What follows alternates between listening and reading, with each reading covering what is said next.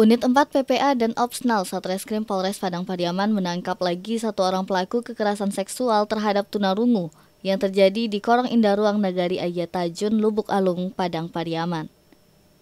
Pelaku berinisial DC yang sempat melarikan diri tersebut ditangkap di persembunyiannya di daerah Riau pada Sabtu kemarin.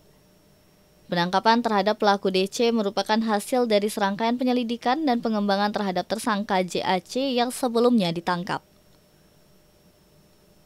Kadit PPA Polres Padang Pariaman Aibda Roy Wirama mengatakan setelah pihaknya melakukan serangkaian penyelidikan, diketahui pelaku DC melarikan diri ke Provinsi Riau.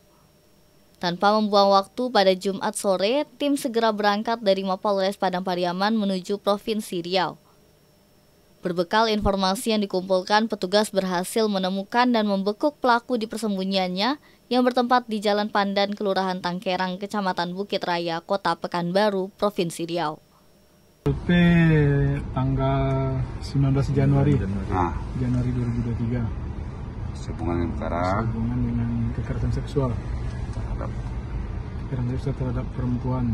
Kebetulan uh, korbannya ini tidak tunarungu nih, disabilitas yang butuh perlindungan. Namun dalam hal ini oleh rekan kita ini dilakukan yang tidak wajar. Maka kita bina ada dulu.